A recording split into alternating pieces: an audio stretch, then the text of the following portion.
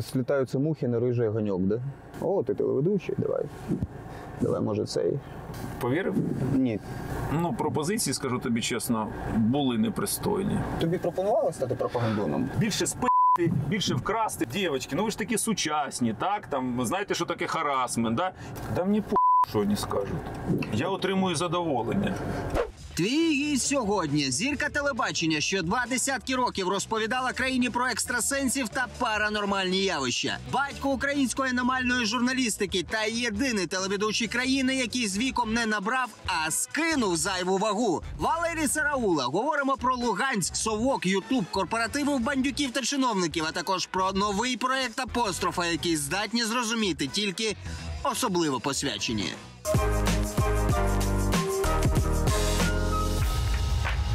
Можемо, можемо на цей, на Артема повернути. Я вибачаюся. вибачаюсь, я буду їхати туди, куди я хочу. Я водій. Не питання. Я хочу проїхати, подивитися на яйця коня Богдана Хмельницького. Це в мене такий ритуал. Привіт, це один два ти. Мене звати Ярослав Бугако. Сьогодні у нас в гостях телеведучий, актор, музикант. Маг, екстрасенс, Маг, внук Бога, екстрасенс. дослідник аномальних явищ, сертифікований кал- кабзун, хотів сказати, кал- колдун. представник клану луганських віщунів, чоловік, про якого навіть Google знає, що він з паралельного світу. Він знає всіх екстрасенсів країни, але жодного разу не вигравав казино. Тобі, до речі, не приходила така ідея. Справжніх приходила, про це поговоримо. Один з перших, хто довів, що з іменем Валера можна працювати не тільки на СТОХі. Так е, круто, о, відповідно до моєї особистості, мене ще не представляли, навіть в Палаці України. Мені дуже часто говорять приємні речі, тому мене вони знаєш не колишать. Взагалі, перед, перед тим як е, задавати тобі питання, я е, все життя чесно хотів, хотів тобі сказати, що Любиш мене? Ти, ти так давно на телебаченні, що я от, е, чесно пам'ятаю ті моменти, коли я ще малий дивився в е, екран, бачив там тебе, молодого, і думав, що він там забув взагалі. І власне з цього давай розпочнемо наші питання. От як ти потрапив саме на тілі? Я, якщо серйозно, нікому цього не розповідав. Я працював на будівництві. От, помічником з 14 років. Це одна з моїх професій була. Мені цегла по голові, от, трошечки була дірочка. І після цього в мене пішов просвіт. Мені стали вбачатися ті речі, які людям нормальним не вбачаються. Я подумав, що мені треба йти на світ, на промінь. А світ, єдине світло, яке в мене йшло в хаті, це був унітаз. Оскільки батько сантехнік був, і відповідно телевізор, який мені забороняли світити. Хочеться завжди йти на заборону. От я подумав, що я хочу бути уже в 14 років в телевізорі. Ти зростав в Луганську в 90-х. Можеш дати кілька порад хлопчикам, як вирости успішним чоловіком, якщо тебе все дитинство лупцюють? Ти взагалі боєспособна людина? І обзивають ще рудим, там всякими коротше, хейтять, тролять. Як ні, бувало, звичайно, що як вирости. Ну що, треба давати здачі. Е, В будь-якому випадку терпілою бути не можна. Треба знаходити в собі сили. Іноді можна прикинутися терпіле, а потім дати добиною по голові. Як я зараз буду йому сигналити, тому що він виперся туди, куди не треба. І цим Цим, буду і цим, сигналити. цим треба Да. сигналити. Я з Луганськом знайомий десь з нульових і запам'ятав місто як місто відбитих наглухо даїшників, просто без страху, без, без почви під ногами. Е, Місто, де проводились е, масові шахтарські гуляння. Тоді перше побачив, що в них парадна форма біла. Дуже було це, це цікаво. Аксельбанти. Так, так, так, да. А, ще я там вперше побачив парад на День ВДВ, коли я своїми очами там в 2010-му колись бачив там Псковську дивізію якогось дідька. І а тепер ти бачиш яйця Богдана. А тепер я бачу. Коня Богдана. Так. Я навіть не, не звертав уваги. Ти знаєш, коли ти був малий, Луганськ він понятійно він був Рашка, чи це була ще Україна? Е, Коли я був малий, Луганськ це був совок. Рашка абсолютний, абсолютний. Тут можна сказати, що от вся класика жанру це було місто Луганськ. Так. Єдине, що пам'ятаю, що постійно ростовчани, оці Ростовська область, місто Ростов, до нас суботу неділю приїжджали і забирали нашу жрачку. Я це коли забирали пачками ковбаси, оці варені. Е, От все вивозили, вивозили. Вже тоді була інтервенція. Вони хотіли, щоб ми голодували. Ну у нас настільки працелюбні люди, вони все одно працювали і всі і всім вистачало. Я виріс на хорошій ковбасі, до речі. Е, Мама працювала на Луганському м'ясокомбінаті, але вже потім. А до того там працювала тітка. Жінка. І вона час від часу приносила ковбасу, казала, це в ковбасі є крисятінка, але криси ці щури, вони вже зрощені теж на ковбасі. І тут каже, хороший картон сьогодні, це хороша партія, оскільки тут хороша бумага і хороші щурі. І я тобі кажу, от коли люди, які зараз кажуть, що в, е, радянські часи була хороша ковбаса, вони помиляються. Тобі в 91-му було 16. Е, що для тебе був розвал Союзу? От як його сприймали підлітки? Ти взагалі розумів, що це таке? Що воно відбувається? Що там держава рухнула там і так далі? Там подібне? Ярік, дуже цікаве питання. Я от зараз прямо пригадав цей момент. По-перше, я пам'ятаю похорон е, Брежнєва, призначення Андропова.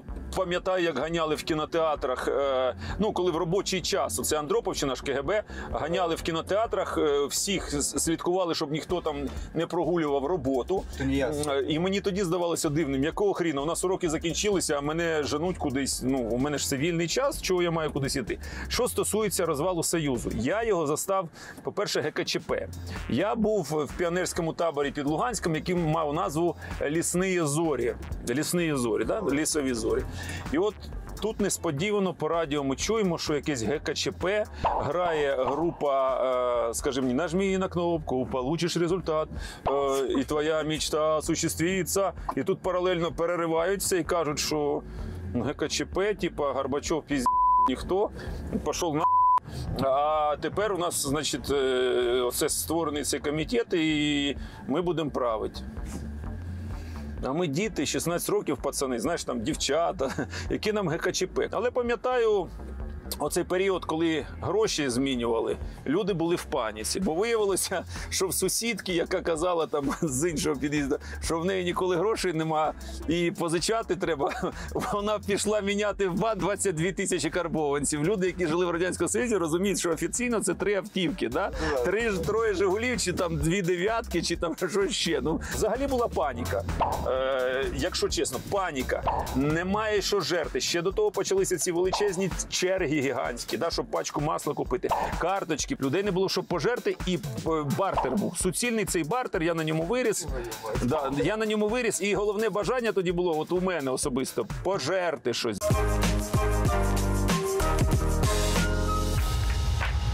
В Вікіпедії сказано, да, що в армії ти вдарив старшого по званню, ледь не сів тюрму. Ти коли її навчився заповняти цю Вікіпедію?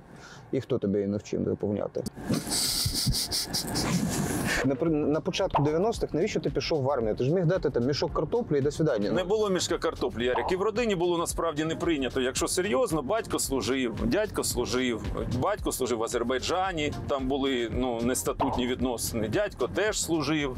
От та всі служили. Хрещений служив. У нас було в роду не, не прийнято це. Трьома словами про армію початку 90-х. Початку 90-х, Да. а, от як розвал був, отак. І в моїй армії було, хоча було багато хороших фактів, мається на увазі відношення прапорщиків, так, офіцерів деяких, відносини між пацанами. От, от такі речі були хороші. А так всі намагалися, от в тій армії, де я служив, більше сп...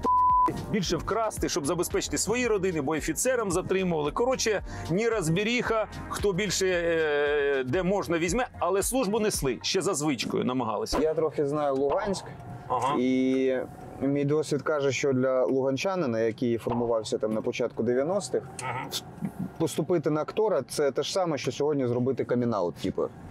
Е, якщо в тебе були інші причини, то які?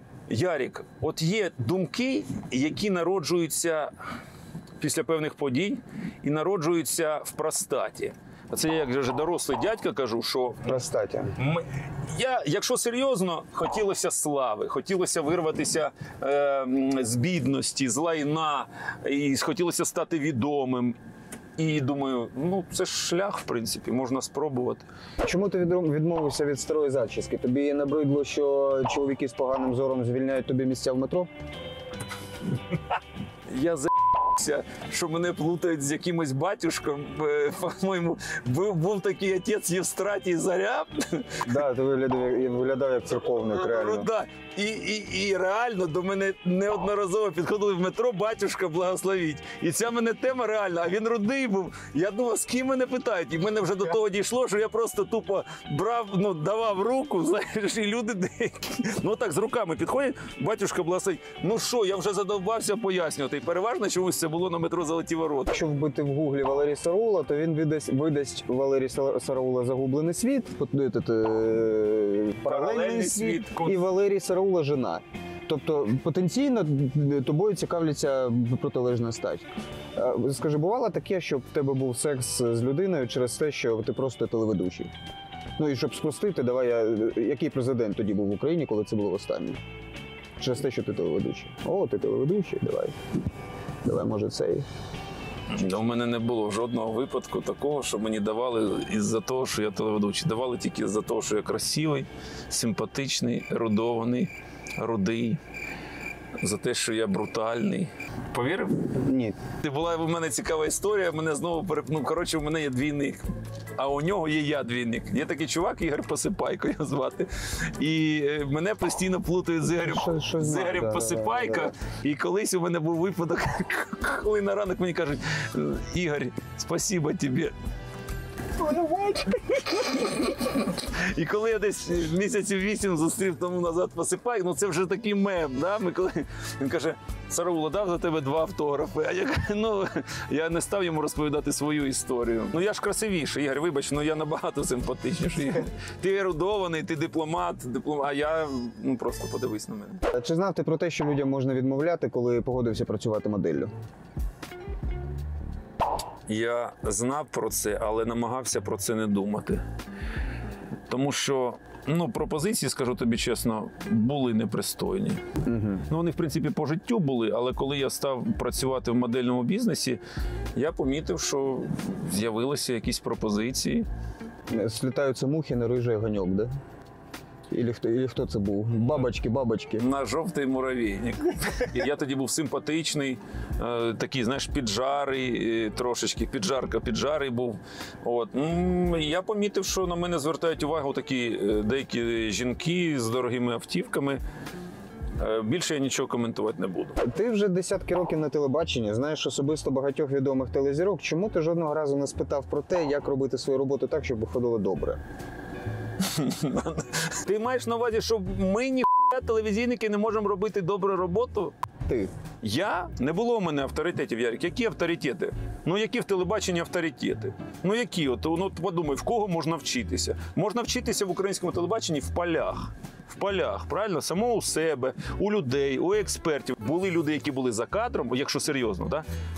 Класні редактори, класні е, продюсери, які давали поради, які ставали в пригоді. Ну, бачиш, я безнадійний, що мені це не допомогло. серед молоді не дуже популярна щас- зараз ця історія. По- Телеведучі Так. Ти знаєш, е, не погоджуюсь. Знаєш чому?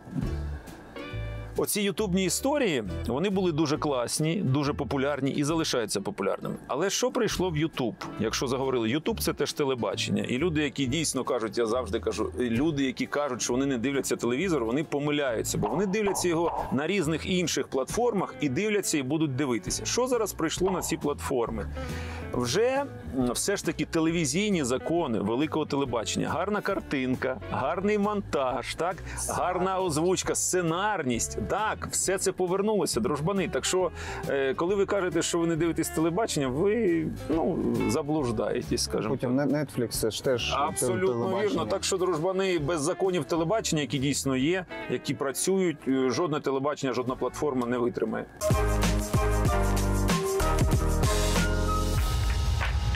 Наскільки великий ринок надання паранормальних послуг в Україні? Багато серед екстрасенсів, там колдунів, мільйонерів, наприклад. Гривневі точно є. Я знаю, е, їх е, не так багато, але є як відомі персоналі, які е, мають серйозні об'єкти нерухомості, вже бізнеси певні, пов'язані з фармаце- фармацевтикою. Так? Є люди, які, ну, наприклад, закадрові, але до яких звертається весь політичний бомонд. Не весь, частина його. І, як правило, все так робиться, що люди ніби нічого не мають платити, а врешті потім платять. е, Ну, фактично, там і Rolls-Royce дарують, я знаю, є такі випадки. Ринок паранормальних послуг величезний. І як мені не дивно. Сучасні молоді дівчата це зараз головні жертви. Раніше такі от молоді дівчата сміялися, що ходять там до бабусь, до тих, до тих. Да-да-да-да. Зараз інстатеми оцих от відьмачок, псевдовідьмачок я беру, да, оцих от тьоть, які там щось радять. В інстаграмі просто я знаю, тьолки заробляють оці пизні. Ну, десятки тисяч доларів, десятки тисяч доларів. І глупі губати, я прошу пробачення, мені подобаються губаті дівчата, не всі, звичайно. От вони ведуться на це і просто. Жодного кроку деякі не можуть зробити без того, щоб з ними не порадитись. От я тобі серйозно кажу. Це просто це ну мене іноді знаєш дратує. Ну не те, що дратує. Дівочки, ну ви ж такі сучасні, так там знаєте, що таке харасмент, да? І тут йдете, довіряєте е, свою долю в якійсь баришні, яка інстаграм розкрутив. Ну давайте, давайте. Ну, нове покоління Давайте, давайте. інтернет-лохів таких. Давайте та дійсно так і є, Ярик. І от реально в Україні, якщо взяти там бабок, відуні, колдуні, якщо яким хлібом дають маслом, салом, там да, то, то ми це ну пару мільярдів гривень. В тебе дуже непогана впізнаваність, об'єктивно. Угу. Зараз... Зараз- ніхто не пізнав. Зараз е, у нас тренд такий е, ставати пропагандоном, тобто там ну, Так. обличчям, яке Так. коментує політику, всі туди стрімляються. Тобі пропонували стати пропагандоном? Та Я е, в політиці ж теж працював, ти знаєш. От е, в- саме реальним пропагандоном мені не пропонували стати, але е, бути поруч з політикою, коментувати певні речі. У мене є можливість, я зараз цим також займаюся, і мені це подобається. Е, Мені це подобається в одному випадку, коли я відчуваю, що в мене є можливість. Вільно висловлюватися, свободи слова. Як тільки у мене наступає цей момент, що мені щось кажуть ні, да, ото не так, то мене все накриває, і у мене е, закреп моральний наступає. І я, як правило, тихенько знімаюся з цієї теми. Ти можеш розказати історію, коли от спрацювало щось паранормальне прямо на твоїх очах? Бо ну мені важко вірити в це. От важко. А от, якщо таке було на твоїх очах, то розкажи, будь ласка. Був колись в Києві е, таке казіно, дуже відоме, туди Макс Курочкін Людвиг, туди ходити по Києві. І інші, значить, називалося воно Рівер Пелес. А, да.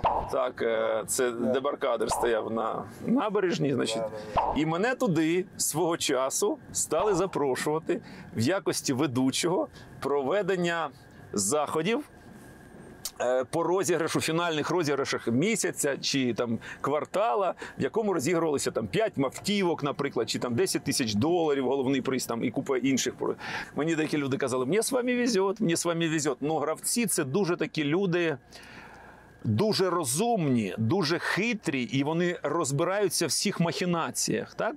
І от одного разу у мене був такий випадок, після якого я ледь не позбувся роботи в цьому Рівер Паласі. Я десь тисяч 15 доларів там заробив свого часу. Так? Ну, бо мене запрошували. Тоді, тоді це коштувало відкрию таєм- ну, не відкрию таємницю, тоді це коштувало 2 тисячі, півтори тисячі доларів, але там дві години роботи було, ну тоді платили добре. Значить, е, одна умова чесно проводити. І значить, конкурс рулетка. Уже відомі імена всіх фіналістів, які я витягнув так. Рукав закатую, дівчата допомагають, але, як правило, я робив це сам. Закатував рукав, засовував руку в лототрон, цей, ну, витягував номерок і все. У нас рулетка заповнена, залишається один номерок. Один номерок, який один учасник, який теж може вийти в фінальну частину цього розіграшу. Там, по-моєму, здається, було автомобіль Nissan за 26 тисяч доларів. Коротше, така штука. І тут я кажу «Хі** на свій розум. І тут я несподівано кажу: Итак, ребята, а сейчас я вас удивлю. Я укажу пальцем, достану номерок и укажу пальцем, кому этот номерок принадлежит. Этому трюку меня научила моя бабушка. Клянусь, от зараз, е, от висить ікона Ніколая. От дивися, да? Я ляпнув це язиком своїм ри- рудим. Оце ж цеглою в голову мені попало. Я ляпнув це І кажу: номер. Номер дістаю, дівчата стоять, каси всі так посміхаються, всі такі гі-га, ну як дурачок же шляпнув. Гі-га, ну ви розумієте, що буде далі. І я беру вказую пальцем, так кажу, номер там 31. О! І сидить, як зараз пам'ятаю, в першому ряду мужик за столиком, а у нього в руках нічого немає. Перед ним лежить пару номерків, пару ну, з- запрошення якесь там. Він так бере, піднімає. О, точно. Я такой, а я такой, ай, друзья, у кого там номер такой-то, такой-то. Он такой, так это у меня. Всі гравці повертаються на мене. Дайте їм пістолети, вони мене вб'ють. Вони думають, що це афера, але реально потім до мене організаторша підходила і казала: Валера, як це вийшло? Я кажу, я не знаю, як це вийшло. Ні хрена, ні не знаю. І потім я молився, щоб він не виграв, бо вони просто прибили, просто реально прибили. Всім завжди було цікаво, скільки заробляють телеведучі. Ми не, не називаючи не називаючи цифр, давай скажемо, Так, давай. є нерухомість, немає нерухомості. Е, Перед вами сидить класичний терпіло. Еліта центр, тільки не еліта центр. У мене е, стоїть об'єкт нерухомості, в який я вхірячив 57 тисяч баксів. Реально зароблені гроші, не стирених. Ну, коротше, в мене, в мене є знайомі приятелі, забудовники. Вони кажуть, ну, без терпіла, без лоха і життя плоха. На сьогоднішній момент я працюю над цим, і я думаю, що скоро все буде нормально. Так дом будинок не запущений, да? Та він він стоїть, але він не, не дороблений там. Да, він стоїть вже 10 років. Щоб ти розумів, так все, що нажито непосильним трудом, все, що, все, що нажито непосильним трудом. І от в такі моменти, в такі моменти, я можу зробити певні речі саме подонкам, реально об'єктивним подонкам, не суб'єктивним. Я ніколи, якщо посварюся з людиною, не буду на неї нічого там насилати, ніякої енергії. Це просто сварка, так? А коли такі речі йдуть, коли людям долі рвуть. Суїциди люди скоють. Зрозуміло, що можна сказати, це проблема людей, це проблема цих лахов, які вклали гроші. Я з цим миритися не збираюся, і тими способами, які в мене є, я можу на таких подонків впливати. Так може озвучимо подонков? Подонків, м, е, ти знаєш, я раніше думав, що це вони. Наприклад, є така компанія, яка називається PG Invest. Так, PG Invest компанія.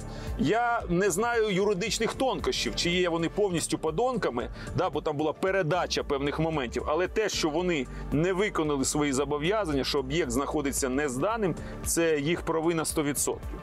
Ну, не 100%. Велика частина їхньої провини.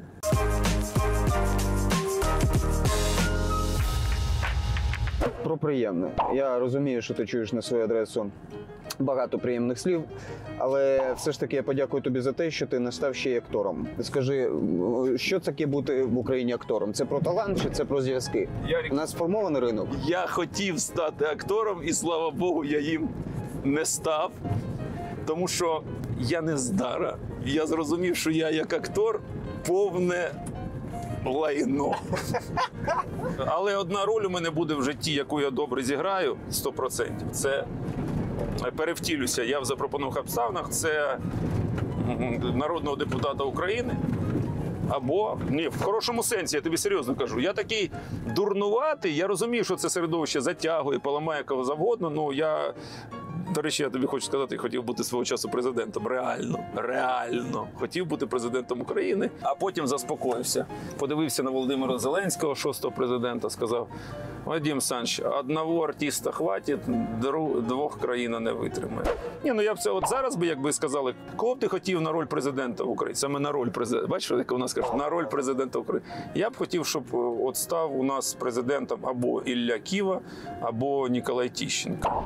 Або Ніколай Тіщенко, або от е, Ілля Ківа. Я вважаю, що ці персоналі піднімуть Україну, зроблять її щасливішою, багатшою, заможнішою, збережуть демократію, і ми будемо дійсно процвітати як е, Китай. Ти говорив, що користуєшся засобами для обличчя. Скажи, де ти так талановито навчився це приховувати? Ти багато взагалі часу приділяєш своїй зовнішності? Ти дуже себе любиш? Я, я, мені соромно про це казати. Я себе люблю сильно, але не настільки, як я хочу себе любити. Хочеться більше себе любити, більше себе пестити. Ну, мається на увазі пестити. пестити себе ем, хорошими, красивими моментами, речами. ну, речами, теж неоднозначно. Ну просто пестити себе гарними спілкуванням з гарними людьми, гарною їжею, емоціями, отакими речами. Ще одне тобі дякую за те, що ти співаєш, бо під твої пісні швидше за все, за все йдуть з дому гості. І е, Це правда. Коли я завив, це пі***ць починається. Плачь, блондинка, ты тоже будешь старой И тебе не спою песни под гитару ти ж ведеш корпоративи, да? Зараз ні, та які зараз корпоративи? Зараз е, мене двічі зах- за- запрошували на похорона. Як чиновники платять за проведення корпоративу? Це бакси. Я- я- Ну як це відбувається? Ти взагалі? знаєш, я в, в чиновників працював небагато разів. Е, Деякі з них були пов'язані е, з Юлією Володимиром Тимошенко. Юлія Володимир, здравствуйте. У вас хочу попрацювати. Платять нормально, е, як домовлялися. Розрахунок чіткий. Е, Долар або гривні, як домовилися. А з ким при- при- приємніше працювати з силовиками чи з е, там політиками, наприклад? Силовики в мене були дружбани, МВДшники, МВСники. Отож лабяки рідкі. Ті напоять, накормлять, платить не хочуть. Обцілують тебе, ти класний, ти супер, Валера, Валера, Валера, Валера, Валерчик, братику, братику, братику. Ну, давайте щось платіть. І так важко. важко. Накормлять, напоять, на, заправлять тобі, талонів дадуть на пальне. Да, талонів дадуть, а оце от, ну, туж тяжкувато трошечки. Нещодавно ти став ведучим на проекту Аномалія 5044. Аномалія 5044 – це координати урядового кварталу в Києві. Місця, де здоровий глузд казиться в полоні паранормального. Як би ти характеризував його в трьох словах для глядача? Що це? Я прошу зауважити, що я його вже придумав да, частково, да, потім його там доробили. Ну, я ж причетний. Ну що ж ти вже мене так всю ху. Яку не можна пояснити звичайним людям, і навіть е, традиційній науці ми намагаємося пояснити і зрозуміти е, разом з командою. Там такі ж як і я, і ще гірші. В команді я маю на увазі. Да, Ярик? Слухай, тобі е, твої колеги, які бачать в тобі там е, професіонали, що состоявся, скажімо так, в якомусь жанрі, вони тобі не казали, Валера, що ти робиш? Бо тут зараз зараз буде врі- будуть врізки, як ти ведеш свої підводки, що ти там говориш. Я, я не знаю, кому це в голову може Це прийти. пустять чи що? Про- Просто це, щось це реально пустять? ненормальне якесь. В Україні вже давно триває мостопад. А конструкції над річками і дорогами розвалюються на шматки, немов печінка мого шкільного трудовика. Я не з тих, хто робить камінаут кожного разу, коли в моїх снах роздягається чоловік середнього віку. Я- Чесно, я ну, доросла людина, мені 32 роки, я на це дивлюсь і просто тобі ніколи не казали, що ну навіщо це? Мені казали, що я ненормальний. Ну мені так подобається, коли люди поза кадром в атмосфері ржуть, отримують задоволення, коли вони мені щось підкидають. Я дуже люблю, коли от мен- мене точно дратують, копіюють, там провокують на якісь штуки. От я дуже люблю цю атмосферу. Я можна сказати, взагалі люблю телебачення за те, що відбувається за кадром. Так, от люблю. Я, я тебе навіть готовий зараз поцілувати. Ніхто не зрозуміє, чому за сьогоднішній день. Да мені по не скажуть. Я отримую задоволення. Що не так з українським гумором? Чому, чому, чому його так мало і чому він е, підчас очень е, туп? Скажімо так. Мені вистачає українського гумору. І я вважаю його дуже інтелектуальним. Наприклад, 95-й квартал. От е, люди перейшли в діючі політики, вони продовжують жартувати. Я вважаю, що е, тепер нам вигідно стало. Ми не платимо гроші за цю ржаку. Е, безкоштовно все в нас йде. Так що ніхіра я не, не погоджуюсь, що гумору не вистачає. Гумору до хіра. Місце сили в Україні, яке треба відвідати кожному українцю. Де знаходиться це місце? Перше, що зараз відбувається особисто зі мною, я не пораджу це кожному. Панове, десятина церква, фундамент. Хоч її там заклали, підклали. Повірте мені, якого ви віросповідання не були. Це дуже потужне місце випромінювання, яке пов'язане з космосом. У нас є певне упередження в суспільстві, що місце сили це отаке от культове якась споруда, наприклад, да. так. Софія Київська, де от місце сили. Насправді місце сили може бути блуждаючим як нерв. Да? Воно може бути там, там, там, де ти відчув, що тобі добре стає. Оце твоє місце сили. Але знаєш, що наступного разу там може не спрацювати. І ще пару місць сили є це е, дача е, шостого президента України, Так. дача п'ятого президента України в Козині, е, офіс е, Коломойського. Біля, біля десятиночки. Так, біля, біля десятини, до речі, можна поєднати два місця сили. Потім напишете мене в мені в коментах, яку енергетику ви там Та відчули. там і будинок Коломойської, вибач мене, там в Несківських курганах. Ну от, от такі моменти. Квартира Віталія Кличка. Там достатньо не треба підніматись туди, не треба підходити, оце ламатись двері. Потрібно бути культурним. Достатньо е, дивитися з боку оперного театру, знизу вгору на останній поверх його квартири, і це вже місце сили. Ти живишся, тобі автоматично приходить перерахований рахунок за комунальні послуги в сторону дешевше.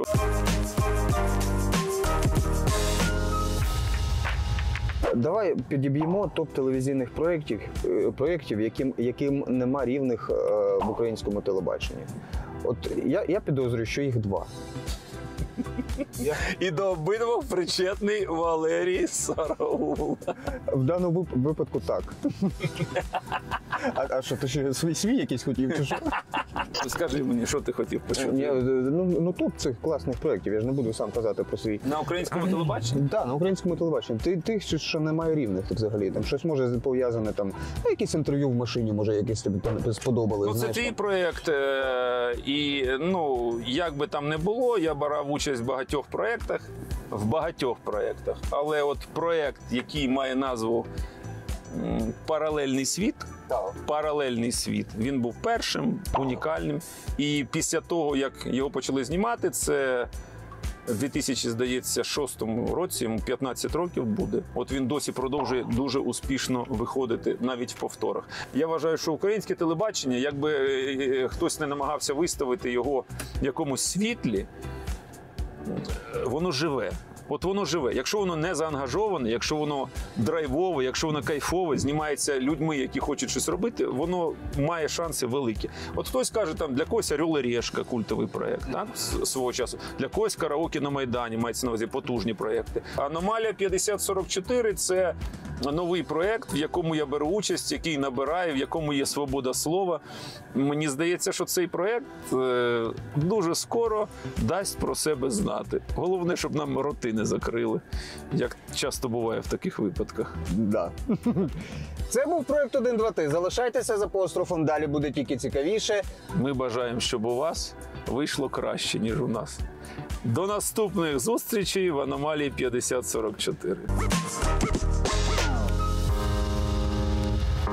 Thank you.